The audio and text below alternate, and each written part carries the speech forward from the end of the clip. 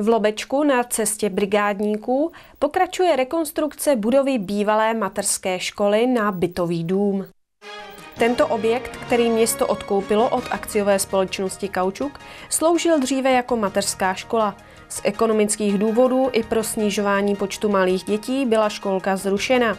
Zastupitelstvo města pak odsouhlasilo jako nejlepší způsob využití objektu jeho přestavbu na bytový dům. Podle vyjádření odboru realizace investic Městského úřadu v Krolpech nad Vltavou vybraná dodavatelská firma Montaco zatím provádí stavební práce v dohodnutém termínu i kvalitě. Na stavbě je hotová střecha, dokončují se koupelny, jsou vyzděny všechny příčky, omítky jsou hotové z 90%. Dokončuje se položení dlažeb.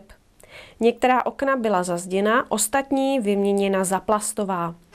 Přestavěném domě bude 10 bytových jednotek o velikosti 2 plus 1, 1 plus 1 a garzonky a tři nouzové byty pro přechodné ubytování v suterénu.